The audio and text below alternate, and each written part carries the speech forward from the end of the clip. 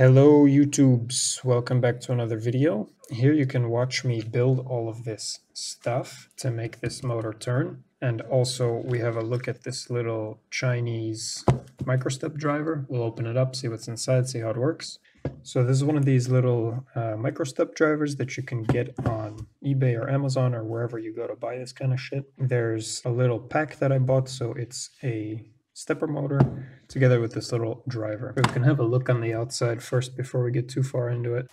Plastic is uh, typical Chinese. It's even got the Chinese funk smell to it. And this font, I don't know if you guys have looked at Chinese stuff before, but whenever there are Latin characters on Chinese stuff, it always uses this font. I didn't even talk about what this is really, did I? This is a little driver board, basically, that lets you drive stepper motors.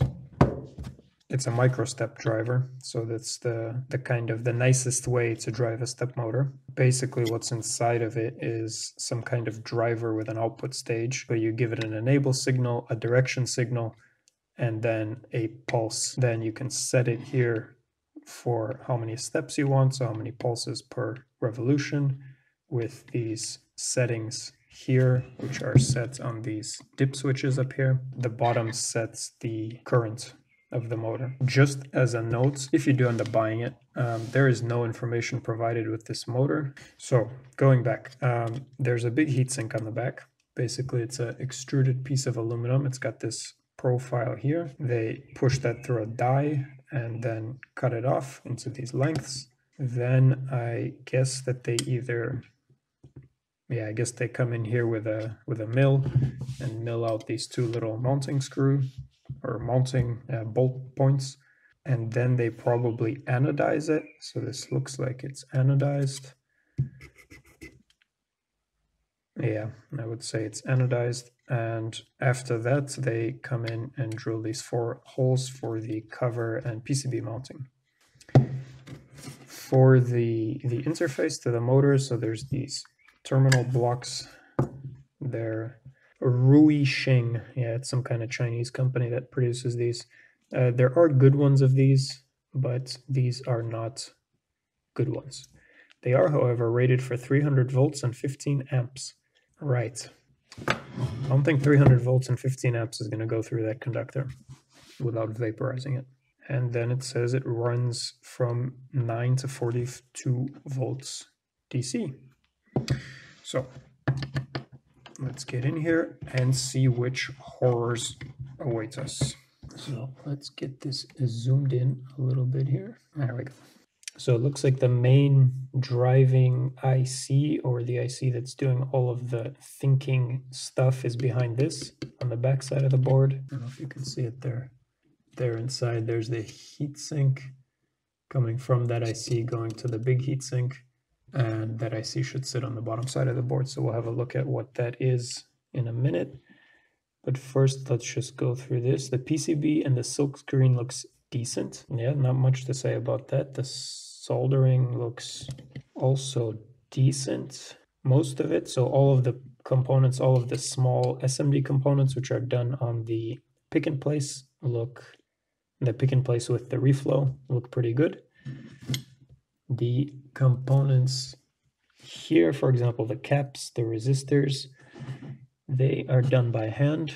The same with these green jumpers. It looks quite horrid. Um, on the caps here, there's not enough solder, so there's actually a kind of void in the via. So these are these parts are done by hand, and they're not really beautiful. The same with the dip switches done by hand. The LED, so this little block is kind of crooked and all sidewards in here. Uh, no conformal coating.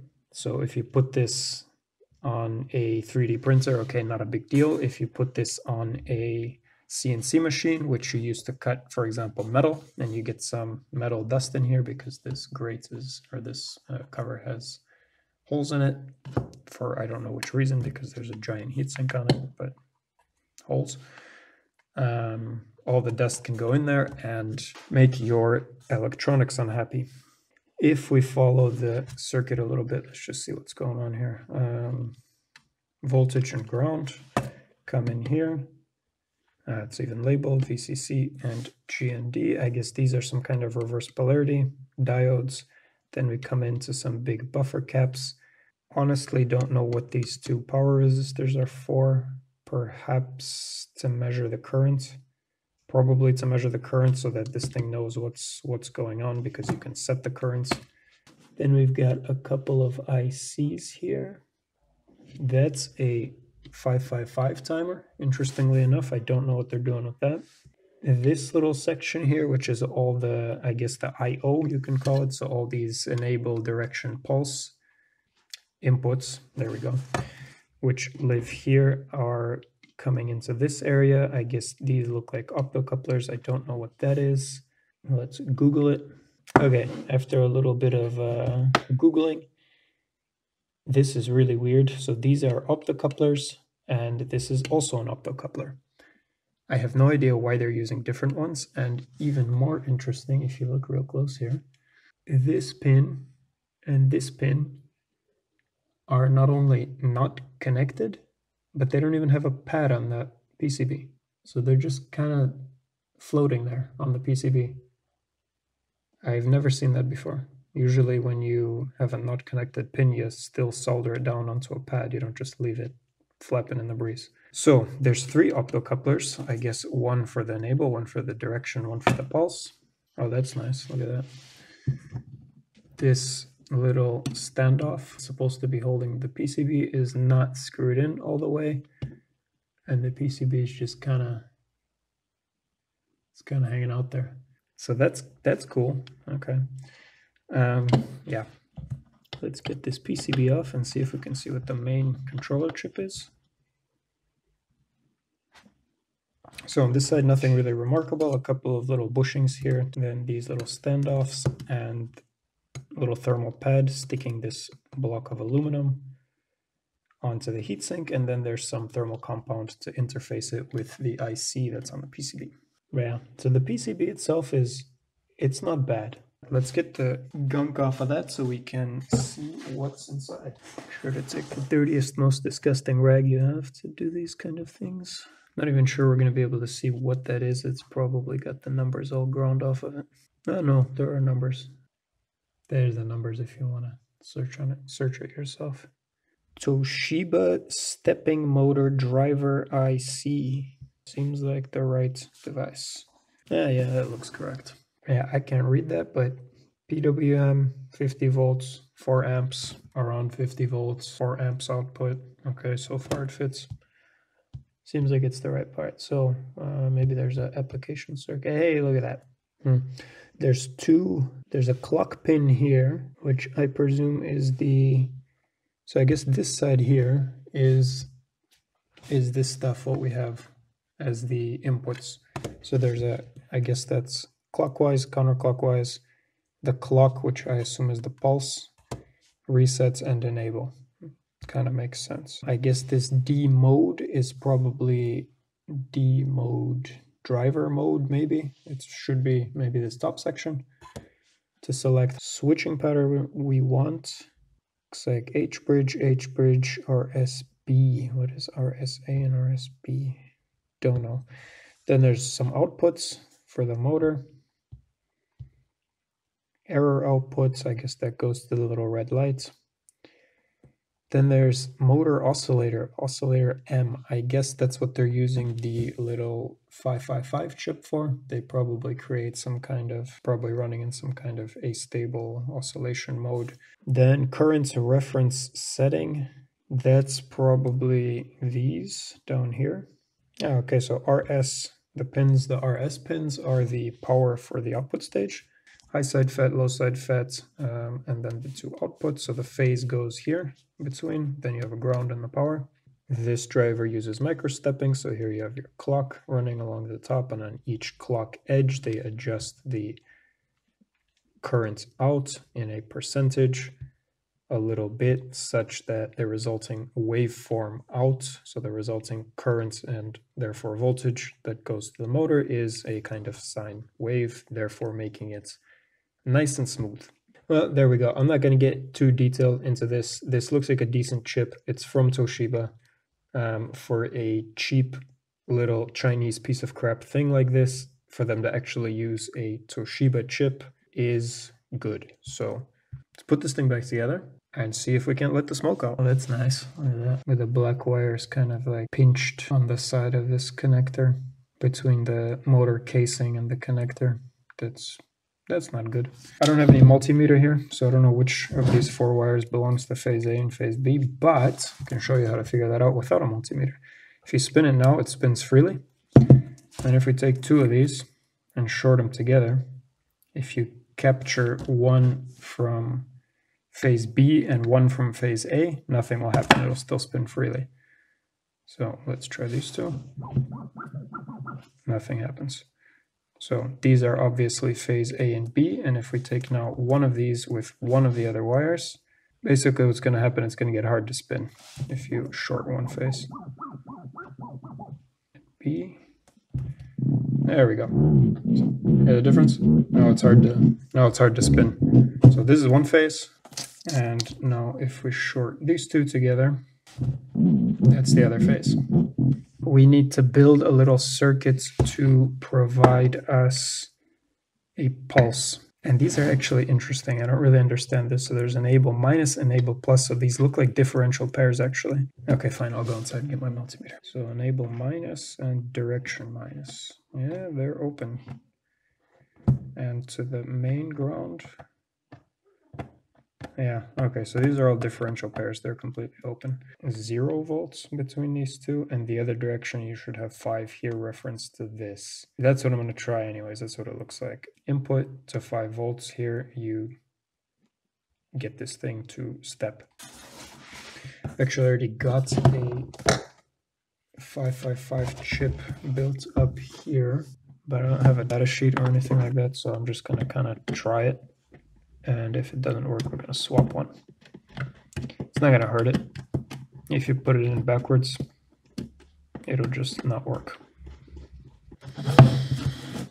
Good enough for me.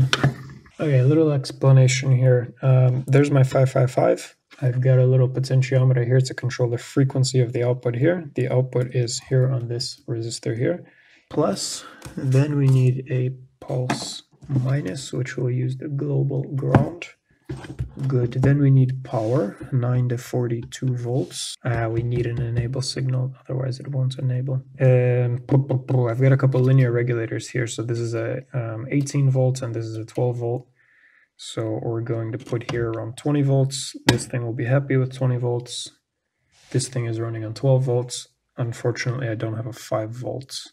Let's build up another one of these. for. Sorry, I know this is the nicest circuit you've ever seen, but that's how we work on this channel. Beautiful. Look at that. There. And now I hope this doesn't explode. So that should be our 5 volts. Now the 5 volts need to go here, but first I would test all this garbage so that we don't burn this down. It's pulling, by the way, half an amp, and I think most of that is coming from this device here. Yeah, that's a lot of current. Ah, it's because the motor's it's blocking the motor, so it's actually got an output. We're driving current through the motor at the moment. That's why it's pulling so much. Yeah, look at that, five volts, that's good. Um, I think the direction, let's just leave it open. So it does, we don't care which direction it goes. The enable, I think we do have to do something about. So let's connect. Watch me burn down electronics. Maybe that's what we can title this series. Up in flames. So now we have zero volts on enable. I expect the motor to not be powered now if this is all working how it should be. Yet it still is. That's strange. That should be active high then. So let's try to connect this to 5 volts. Uh, do we need a resistor? Let's put a resistor there just in case. Just in case so it doesn't pull a lot of current.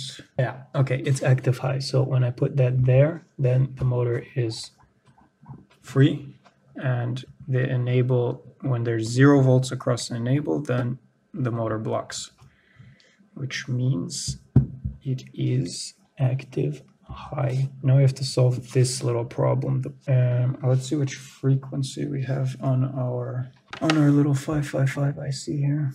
Oh boy, I don't know what the input voltage is there.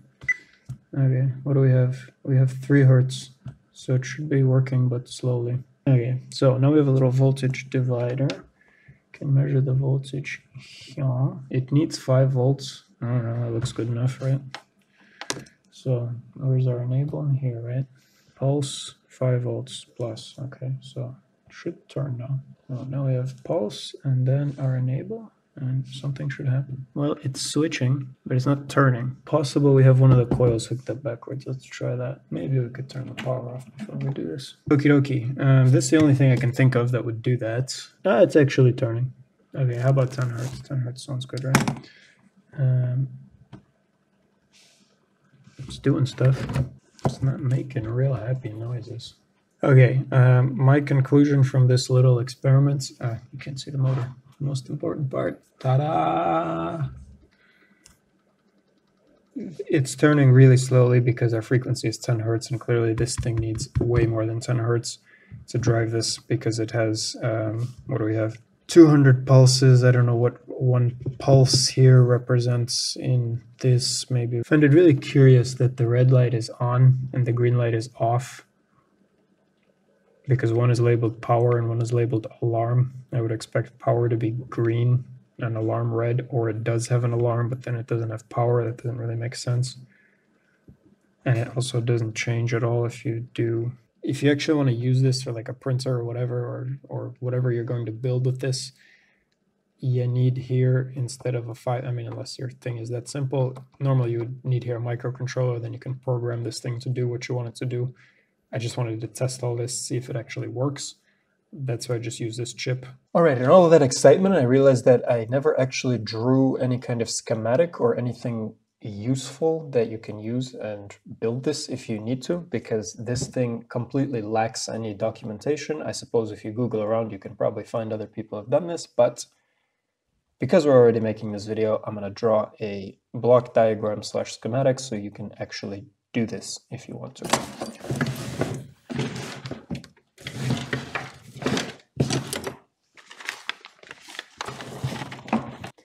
Here, uh, 20 volts from the power supply. So here I've got my DC power supply.